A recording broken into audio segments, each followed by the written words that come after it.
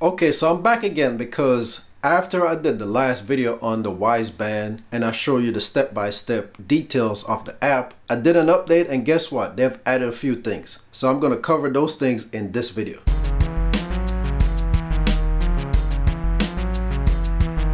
Okay, so let's go directly into the app and get the show on the road. So let's go from the top and work our way down to the bottom because they've added some stuff, not just on the front part of the app, but also into the settings. So on the first one, of course, you know, it's the clock face. I didn't see any changes here, so it seemed like they didn't do an improvement. The next one down is activities. That pretty much looks the same too. Calories, sleep, heart rate, and run. If we go down to the next one, we got heart rate, that one looks the same. It just looks like, you know, during the day, it looks like my heart rate went up to 138 about 10 a.m.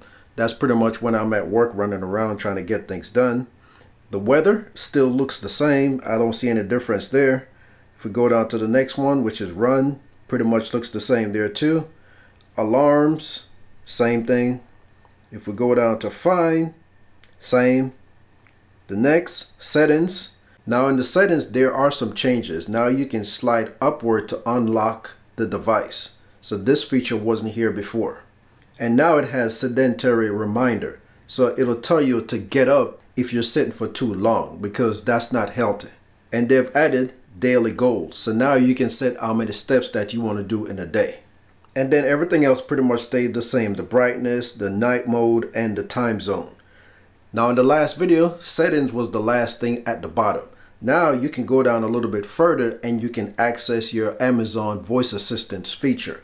If you go into here, there's nothing there to change. This feature was actually in settings. They pretty much move a tile to the front so you can access it easier. And they also did that for notifications. So instead of going to the settings to access notifications, you can click that tile on the front screen and it's going to take you into the same settings that you did like I showed you in the last video.